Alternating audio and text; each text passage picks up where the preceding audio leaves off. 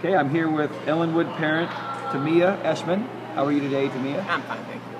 Very good. Now, who's your cheerleader out here? Aaliyah Robbins.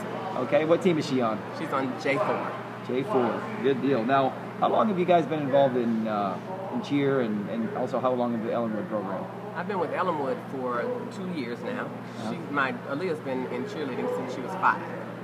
Very nice. It's Very been nice. a long time. Okay, I gotcha. Now, how about, uh, I mean, you have other family members as well? Yes, I have two other daughters that are older that have gone through the cheerleading. So we've been in cheerleading good- a good 15 years.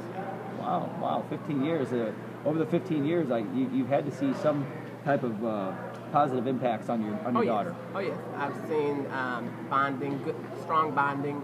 I've seen um, her deal with adversity very well from because of what she's trained in, in her cheerleading, Mm-hmm. in her practices. Uh, she knows how to handle losses with a smile on her face. Um, And um, it just helps her be a well-rounded young lady. That's great, great. Now, how about um, have, have you seen? Um, have you no, noticed anything with like her focus as far as how is how the the focus carries over from the cheer world here Yes. to maybe like her regular everyday academic life? It does. When she's when she's out here, she focuses on her tumbling and she's re- she tunes out the world. So mm-hmm. when she's at home, she focuses on her studies.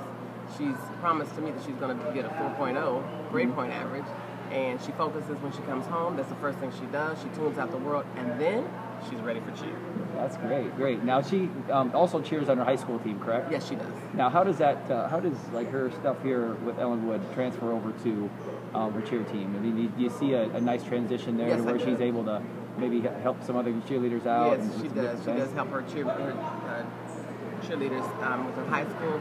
She shows them how to do their tumbling. She helps them with different um, formations that they do. Mm-hmm. Shows them what they're not doing. Sometimes she takes over and it's like you're not the leader. You got to be the follower. well, like I said, it sounds like cheerleading's been a, a major positive in her life. oh yes, it is. and It is.